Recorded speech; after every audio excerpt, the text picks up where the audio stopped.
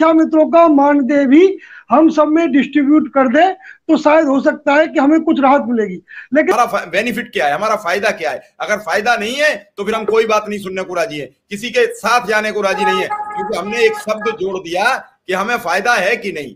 फ़ायदे के लिए नहीं, संसार में कुछ काम नफा नुकसान बिना देखे किए जाते हैं, समाज के हित के होते हैं, उसके लिए दो दिन भी खर्च करने होते हैं, कहीं जाना भी पड़ता है, लेकिन चूँकि सामाजिक काम होता है, इसलिए बढ़ चढ़कर हिस्सा लेना पड़ता है, आज हम उस ओर से निकल चुके हैं। पहले गाँव में किसी के घर में बीमारी हो जाती थी, पूरा गाँव वहाँ जाता था, हुजूम बन के जाता था, वो ये मकसद नहीं था, वो ये था कि उसे हौसला बढ़ जाता था, बीमार ठीक हो जाता था, वो जब देखता था कि चाचा भी आ गए हैं, ताऊ भी आ गए हैं, पिताजी भी आ गए हैं, मौसी भी देखने आई है, मौसा जी भी आए हैं तो सब उसे हौसला देते थे, कुछ नहीं होगा। लेकिन आज अपने ही घर में बीमार होने के बाद खुद का बच्चा नहीं देखता कि मेरा बाप बीमार है, मेरी माँ बीमार है। तो वो माँ बाप इतने असहाय हो जाते हैं। आज ही एक नोएडा में पति पत्नी ने पत्नी ने पहले पति ने पहले पत्नी मारी है और उसके बाद खुद आत्महत्या कर ली। क्योंकि एक बेटी उसकी 26 वर्ष की शादी के लिए थी, एक 28 वर्ष की शादी के लिए थी और वो शादी नहीं कर पा रहा था। बेटा अलग रह रहा था उसी मकान में और बेटे को कतई भनक नहीं लगी। क्या जा रहे हैं हम? किस ओर जा रहे हैं? गाजियाबाद में एक आठ आठवीं के पढ़ने वाले छात्र से फ़ीस मांगी जाती है। वो बच्चा इधर कितना असहाय हो गया, घर जाके वो फांसी लगा के आत्महत्या कर लेता कच्चा आठ में पढ़ने वाला छात्र। कितना प्रताड़ित हुआ होगा। लेकिन उस माँ बाप से पूछिए जिसने अपने बाप की, बेटे की आज अंतिम संस्कार किया होगा।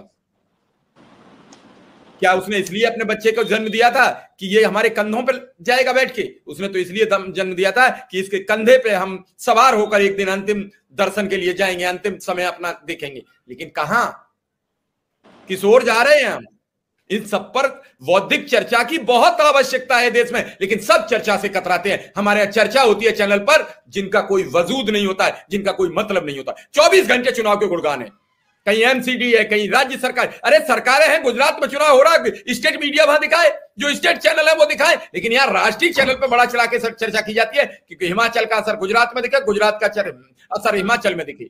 हमने ठेका ले लिया है। सरकारों की पार्टी पार्टियों की सरकार बनाने का ठेका ले रखा है। इससे हमें हटना होगा। हमें सामाजिक, पहले भी तो खबरें चलती थी, पहले भी तो समाज की बात होती थी। एक खबर अगर कहीं मर्डर हो जाता था परिवार का तो पचास लोग उस पर सवाल करते थे।